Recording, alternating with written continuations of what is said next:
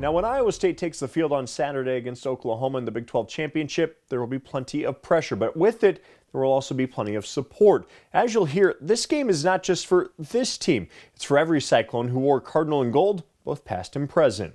Saturday, Cyclone fans will be glued to the Big 12 championship. For these players and these coaches and the fans as well, um, to get this payoff now in what's been a you know really hard, crazy year, it's just so it's just so cool, so much fun to be a part of. Right, Hall touchdown. It's safe to say this is the biggest game in program history. For a school to not even be in the Big 12 championship or any type of championship game ever, and then you know now it's it's happening this year. It's it's kind of you know I wouldn't say a perfect year, but it's you know it's it's almost close. A lot of former players have been watching from afar. And this is the stuff we talked about when we were freshmen in the dorms that we wanted to do.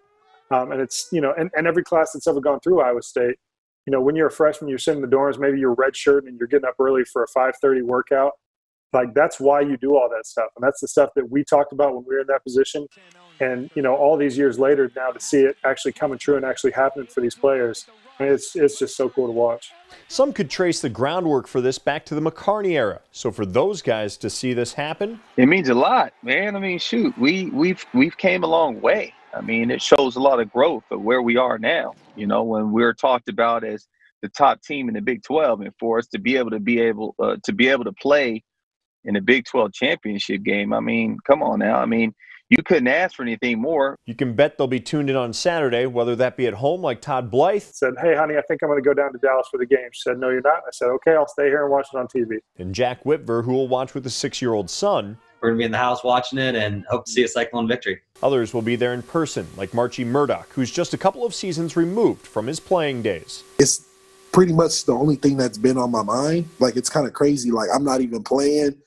Um, but what, what I learned as a, you know, especially as an Iowa State fan and, and a former player, like it's way less stressful playing. Murdock isn't the only one that feels that way. More stressful as a fan, to be honest.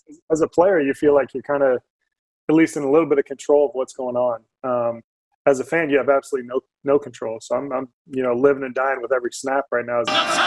With every snap, hit, touchdown, nerves will be flowing because at the end of the day, this is about the brotherhood of Iowa State football. And for those that have come before these current players, Saturday's game carries a lot of weight. A touchdown! It would mean everything to, to me and Cyclone fans. It's, it's what we've been waiting for our entire lives. Literally haven't won a conference championship forever. To proudly wear our cardinal and gold around, you know, around town or around the country, wherever you're living um, I think that's what uh, that's the big thing that this this game really provides for the fans. It means a lot. I mean, shoot, you know, I mean that means all, all the, the blood, sweat, and tears that everybody has put into this program and uh, put in the hard work to kind of put us on the national stage.